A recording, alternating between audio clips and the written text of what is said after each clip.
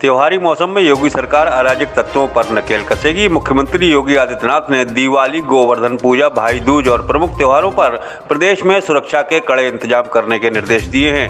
मुख्यमंत्री ने कहा कि अराजक तत्वों पर नरमी न दिखाई जाए। मुख्यमंत्री ने खुराफातियों और अब्बा फैलाने वालों से सख्ती से निपटने के निर्देश दिए हैं।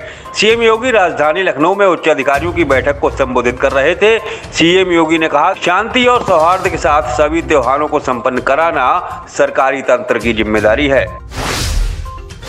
बरेली पहुँचे समाजवादी पार्टी के नेता और पूर्व सांसद धर्मेंद्र यादव ने बेरोजगारी और महँगाई के मुद्दे पर भाजपा सरकार पर जमकर निशाना साधा है। धर्मेंद्र यादव ने कहा कि जनता महँगाई से त्रस्त है। राज्य के डिप्टी सीएम ब्रजेश पाठक पर हमला बोलते हुए उन्होंने कहा कि वह कहाँ से कहाँ पहुँच गए 24 में बीजेपी में रहेंगे या कहीं और चले जाएँगे। उन्होंने कहा की लोकसभा चुनाव में जनता भाजपा को करारा जवाब देने जा रही है। धर्मेंद्र यादव ने बरेली के सर्किट हाउस में मीडिया ऐसी बात करते हुए कांग्रेस आरोप भी हमला बोला।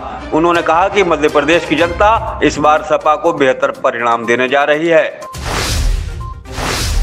बरेली में आईएमसी मुखिया मौलाना तौकीर रजा खां फिलिस्तीन के समर्थन में 17 नवंबर को ताकत दिखाएँगे। मौलाना तौकीर ने शुक्रवार के दिन बरेली के इस्लामिया ग्राउंड में सामूहिक प्रार्थना सभा बुलाने का ऐलान किया है। मीडिया से बात करते हुए मौलाना ने इस बारे में जानकारी दी। इस दौरान मौलाना इसराइल का समर्थन करने वालों पर जमकर बरसे।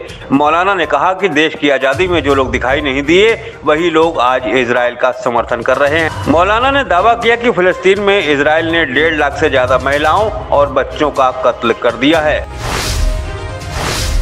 बरेली में देर रात घर से टॉयलेट के लिए निकली युवती पर मंचलों ने चाकू हमला बोल दिया। आरोप है कि दुष्कर्म के प्रयास का विरोध करने पर मंचलों ने वारदात को अंजाम दिया है।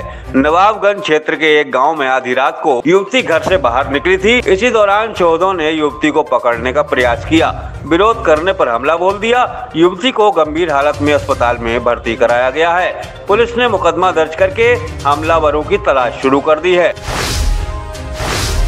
बरेली में घर की छत से गिरकर आठ माह की गर्भवती महिला की मौत हो गई। हादसे से घर में कोहराम मच गया।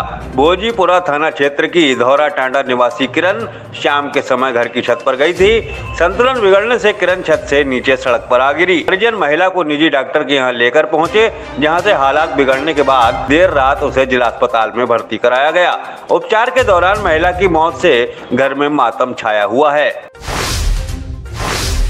बरेली में प्रेम विवाह करने के बाद कचहरी आई लड़की को परिवार वालों ने पकड़ लिया। अफरा तफरी के बीच काफ़ी देर तक कचहरी परिसर में हाई वोल्टेज ड्रामा चलता रहा। लड़की कोर्ट में शादी के बयान दर्ज कराने जा रही थी। इसी दौरान लड़की के घर वालों ने उसे देख लिया। परिवार वालों ने लड़की को पकड़ा तो खींचतान शुरू हो गई। शोर शराबे के बीच मौके पर पहुँची पुलिस ने किसी तरह घर वालों से लड़की को छुड़वाया। बरेली में पेट्रोल पंप जा रहे बाइक सवार युवक को ट्रैक्टर ने टक्कर मार दी। भीषण हादसे में युवक की मौके पर ही मौत हो गई। देवरनिया थाना क्षेत्र के मंगरी गाँव निवासी विवेक देर रात घर से पेट्रोल पंप जाने के लिए बाइक से निकला था। रास्ते में बेकाबू ट्रैक्टर ने उसकी बाइक में टक्कर मार दी। मौके पर पहुँची पुलिस ने युवक के परिजनों को हादसे की सूचना दी तो कोहराम मच गया। पुलिस टक्कर मारने वाले की तलाश में जुटी है। बरेली में सड़क हादसे का शिकार हुए बुज़ुर्ग की अस्पताल में इलाज के दौरान मौत हो गई। फतेहगंज, पश्चिमी के टिशुआ गाँव निवासी आनंद प्रकाश की बाइक को हाईवे पर बेकाबू कार ने टक्कर मार दी थी। मौके पर पहुँची पुलिस ने उन्हें अस्पताल में भर्ती कराया था। सूचना पर पहुँचे परिजनों ने अज्ञात वाहन चालक के खिलाफ पुलिस को तहरीर देकर कार्रवाई की मांग की है। परिजनों ने बताया कि देर रात उपचार के दौरान आनंद प्रकाश की अस्पताल में मौत हो गई है। बरेली में खाना बदोश परिवार की तेरह वर्षीय लड़की के साथ दरिंदगी का मामला सामने आया है। इज़्ज़त नगर थाना क्षेत्र में झोपड़ी डालकर रह रहे खाना बदोश परिवार की किशोरी को चौहदे कई महीनों से हवस का शिकार बना रहे थे। किशोरी के छह माह की गर्भवती होने पर परिजनों को इस बारे में पता चला। सोमवार को हिंदू संगठन के पदाधिकारियों के साथ थाने पहुँची पीड़ित किशोरी की माँ ने चार अज्ञात आरोपियों के खिलाफ रिपोर्ट दर्ज कराई है। इनमें से एक आरोपी मुकबदिर है। पुलिस ने आरोपी को गिरफ़्तार भी कर लिया है